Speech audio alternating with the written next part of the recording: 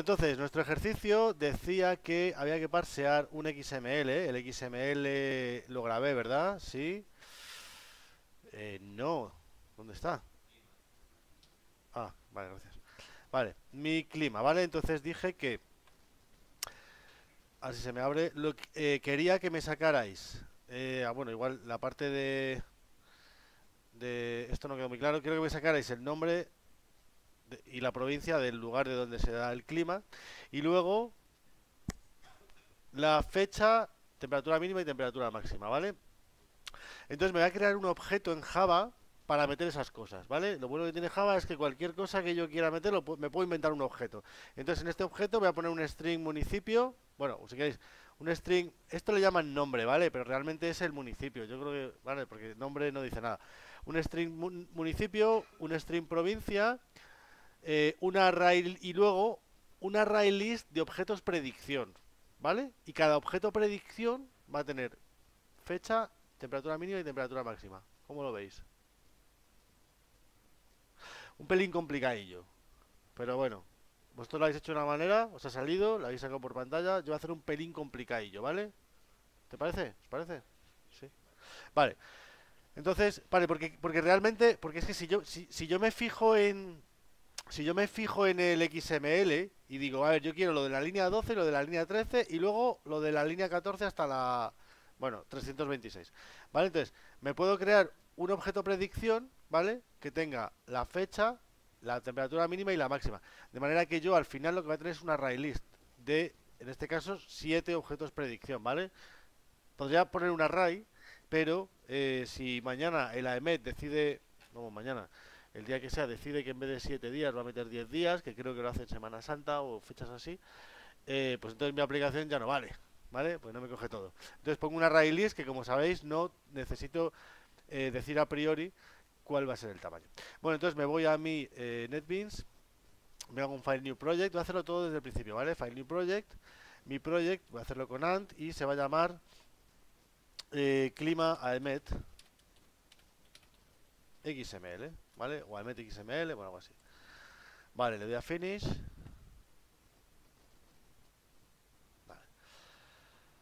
Y entonces, aquí en mi proyecto, voy a cerrar todas las pestañas que hay, ¿vale? Que no sea... Ah, por cierto, bueno. He puesto Clime. Bueno, pues nada, vamos a dejarlas. Vamos a, vamos a cambiar el nombre. Clime. Botón derecho. Rename. Clima. ¿Vale? Clima. Rename. A ver, also rename folder, rename.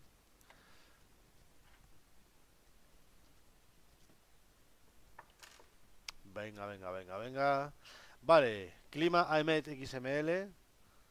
Eh, a ver, ¿dónde estamos? Fuera esto. Aquí estamos. Clima imet xml. Vale, entonces, en source packages voy a crear mi... Eh, bueno, este voy a cambiarle también. A ver, refactor rename. Clima imet. Entonces lo que quería deciros es, eh, voy a crear mi objeto predicción, ¿vale? Mi objeto o mi clase predicción. Mi clase predicción, ¿vale? Va a tener un string para la fecha, ¿vale? Lo voy a poner como string. Un entero para la temperatura mínima y un entero para la temperatura máxima, ¿vale? Porque de aquí, de esta predicción, voy a sacar la fecha, esto de aquí, y la temperatura mínima y la temperatura máxima, ¿vale? No voy a sacar más cosas. Así que me creo mi private string fecha, mi private int tmin y tmax, ¿vale? Esto se entiende lo que es. Y me fabrico mi constructor.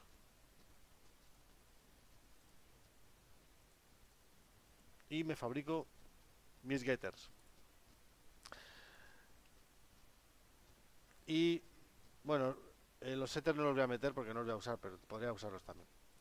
Y me voy a generar también mi... Eh, voy a eh, sobreescribir el toString, ¿vale? Para que ponga temperatura o día, día no sé qué. Vamos a crearnos un, un aux, aux que diga día y ponga aquí la fecha. Bueno, sí, la fecha. Temperatura mínima. ¿vale? Y, concatenamos con la temperatura mínima, Tmin, ¿vale? Y Tmax. Ah, bueno, incluso a Tmin le podemos concatenar también, a ver, el simbolito de grados Celsius, ¿vale? Para que quede más... Más guay. Y temperatura máxima, concateno con Tmax. Y lo mismo que, lo mismo que antes le concateno el símbolo de grados Celsius. Vale. Y aquí, cuando alguien llame a este método, en vez de hacer un return del super toString, que al final va a ser el toString de un object, va a hacer este toString, ¿vale? Ok, vamos allá, seguimos. Vale, eh, esto es para la predicción, para una predicción, esto es para un día, ¿vale? Pero yo en verdad necesito el de varios días o el de muchos días, ¿vale? Entonces ahora me voy a crear una nueva Java class que le voy a llamar clima, clima municipio, ¿vale? Al que le voy a meter, si yo me fijo en el XML, ¿vale? Le voy a meter eh, esto que hemos dicho que le vamos a llamar municipio, esto que hemos dicho que le llamamos eh, provincia, oye, está, está encendido la tele, sí, ¿no? Y luego una array list, una lista para cada día. O sea, una, una lista para meter las predicciones de todos los días, de cada día, ¿vale? Ok, entonces esta clase tiene esta pinta, tiene un string municipio, municipio, un string provincia, ¿vale? Eh, perdón, esto, es, esto está mal escrito. Un string municipio, provincia. ¿Qué más? Em, ah, y un y una lista de objetos predicción. ¿Vale? Y le llamo lista predicciones, por ejemplo. ¿Vale? Importo la array list. Vale.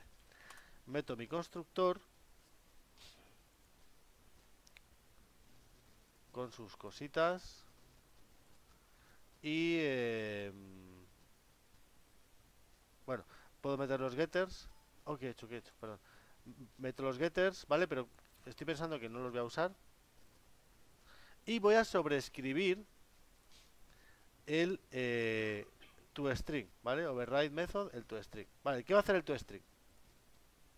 ¿Cómo hago yo para mostrar esto? Pues lo que voy a hacer es crearme un fichero, o sea, un, un, un aux que va a poner provincia. ¿Vale? provincia. Municipio. Municipio.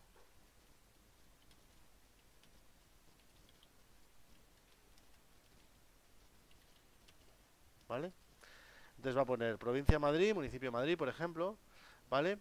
Y ahora, debajo, debajo, quiero que salga cada una de las líneas de predicción de las que he escrito antes.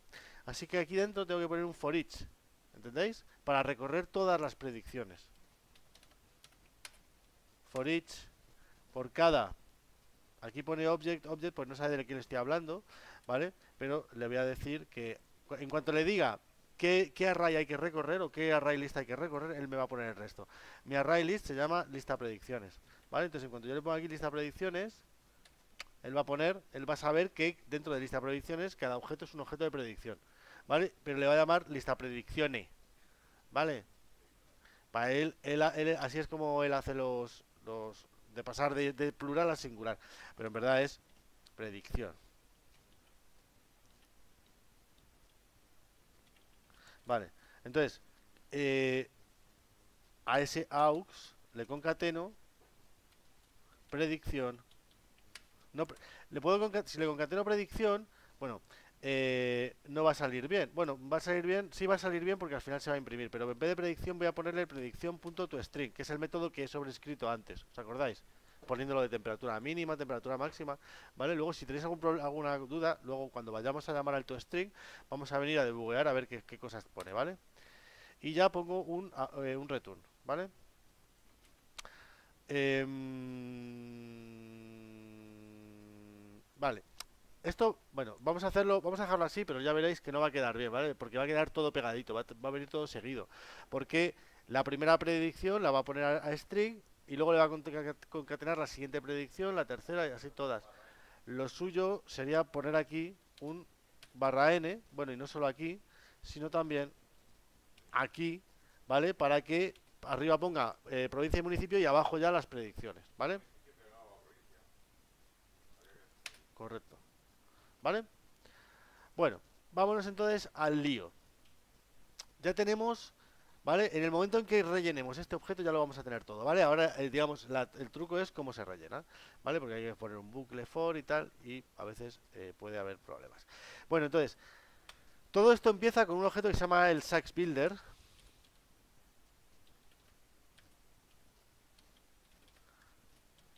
New Sax Builder que, eh, si os dais cuenta, él no sabe de qué le estoy hablando. Vale, no tiene ni idea. Él me lo pone en rojo y fijaos, hay veces que cuando yo pincho aquí en la bombillita me dice importar clase no sé qué, pero es que ahora no me pone nada de eso. ¿Por qué? Porque para él no existe ninguna clase que se llame SaxBuilder, no sabe de qué le estoy hablando, ¿vale? Ok, para que él empiece a entender, empiece a entender de qué le estoy hablando, en libraries le voy a meter un jar. Y este hard tiene que andar por aquí. Este. Vale. Y ahora, cuando le pincho ya sí... Ah, sí, ya, es verdad. ¿Os acordáis antes solo sus únicas opciones era crear una clase que se llama Builder. Ahora ya sí sabe de lo que le hablo, ¿vale? Vale. Bueno, bien. Y con el builder creo... No me sé los métodos, a ver qué métodos son. Build, ¿vale? Construye un objeto de tipo document, ¿vale? Build. ¿Ok? Build. Eh, Veis que build tiene distintas implementaciones, ¿vale? Nosotros vamos a usar esta primera, ¿vale? Eh, pasándole un file, ¿vale? File. Bueno, el file todavía no, no, lo tenemos creado, lo podemos crear aquí arriba. Digo file.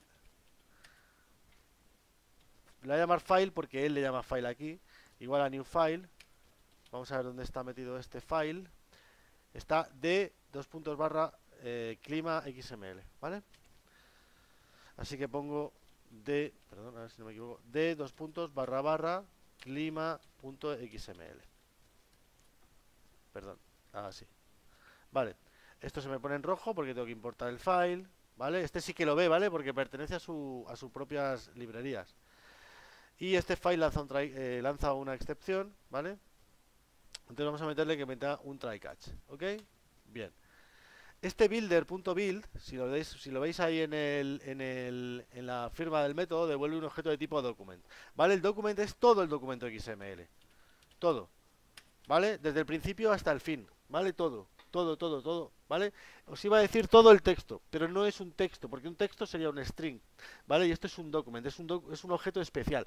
Tú a un string no le puedes decir getChildren, porque un string no tiene getChildren. Le puedes decir que te diga el carácter que hay en la posición 5, que te lo pase a mayúsculas, pero eso de getChildren que hemos estado usando, o getChild, eso no lo puedes hacer contra un string, porque un string no tiene, no, no, no tiene hijos, ¿vale? Sin embargo, cuando ya lo convierto en un documento, entonces ya sí puedo hacer getChild, getChildren, porque ya es un document, ¿vale? Es un document object model, un document, modelo de objeto de documento, ¿vale? Con sus eh, métodos de, para los hijos, etcétera, ¿vale?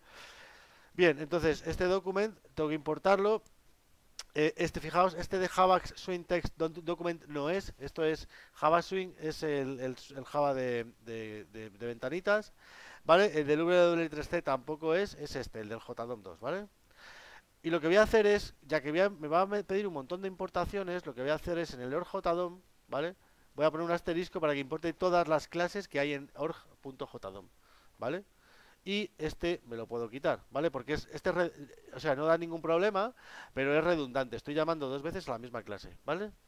El problema sería si llamara a dos clases que se llaman distinto, ¿vale? Fijaos. Eh, veréis. Vamos a quitar esto. vamos, a, vamos a copiar esto simplemente por curiosidad, ¿vale? Mirad, digo, imaginaos que me equivoco y pongo Javax Swing Text Document, ¿vale?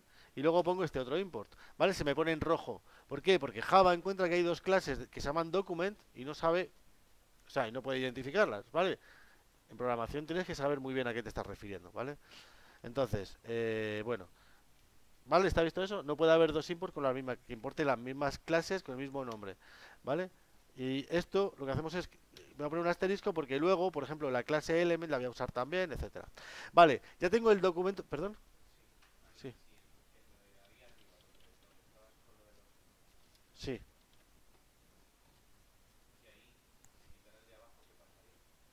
Vale.